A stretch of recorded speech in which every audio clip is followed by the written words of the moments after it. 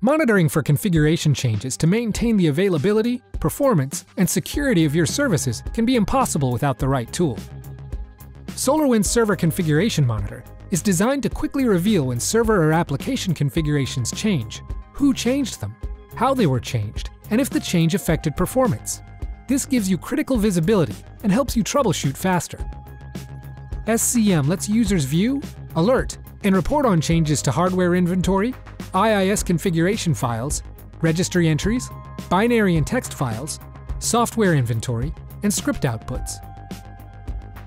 And you can easily see who made those changes. When troubleshooting outages or poor application performance, SCM displays configuration changes in line with performance, health, and availability metrics, so you can better understand if a configuration change was the cause. Compare current configurations to a user-defined baseline, or compare configurations between any two points in time in order to understand how configurations were changed and how to get them back to a known good state.